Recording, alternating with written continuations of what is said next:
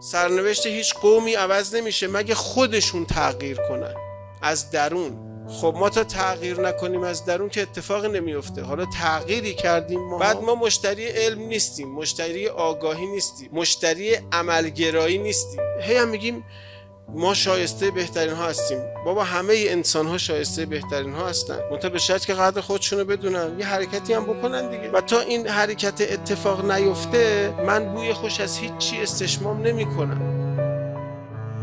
چرا اوضاع ما خوب نمیشه؟ چجوری اوضاع ما خوب میشه؟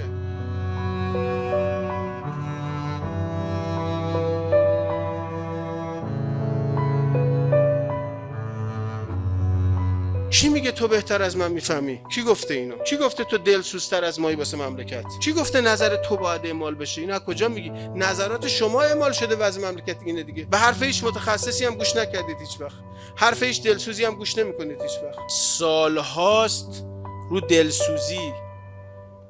از زبون رفاقت از زبون دوستی از زبون غم با داد. با هرس خوردن با خودزنی با زجه. گفتیم آقا اشتباه دارید می‌کنید. شما کار فرهنگی و درست انجام نمی‌دید. فقط ظاهرسازی فقط آمارسازی فقط کارهای سطحی فقط کارهای جناهی بازی. خب اینا خجالت آوره اگه والا شیفته خدمتید اینقدر شیفتگی نمی‌خواد. چل سال اینقدر تر دادید زدید نمی‌تونید دیگه بکش کنار دیگه آقا جون. شما کار فرهنگی بلد نیستید. اینا صدا سیمای ماست. هر چی آدم زحمتکش آدمای قوی توش بود همه رو این گفت اینا فکر می‌کنن مثلا فردوسی پور شبکه سه درست کرده. فردوسی پور شبکه سه درست کرده. از این بودجه چند هزار برابرش رو به دیگران دادید هیچی نشده تونسته بیاد مخاطب جذب کنه بهترین برنامه ورزشیتون رو درست بکنه.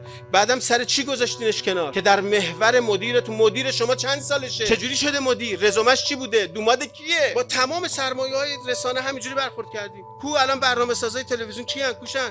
موفقاش کوشن این همه آدم خوب رسانه داشتید همه رو نابود کردید. خب بیاد دارید کنار بلد نیستید شما. چرا هزینه فایده نمی‌کنید؟ بعضی از این ائمه جمعه رو و این آقایونی که تریبون رسمیشون دادید روزنامه بهشون دادید. هزینه فایده کنید ببینا چه فایده واسه مملکت داشتن چه هزینه‌ای واسه مملکت درست کردن. خب بس دیگه حتما اسرائیل باید بیاد اینا رو حذف کنه. بس خدمت کردین آفرین ببر آخر عمرت توبه کن از اون خدمتایی که کردی.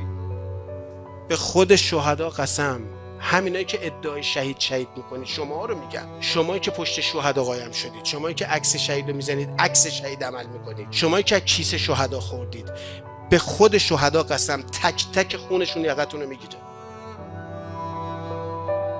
شهدا رفتن اختلاس بشه دزدی بشه راندخاری بشه. شهر بازه که امروز جونشو میده فردا مملکتش و خانوادش و همه توی رفاه و آسایش باشه.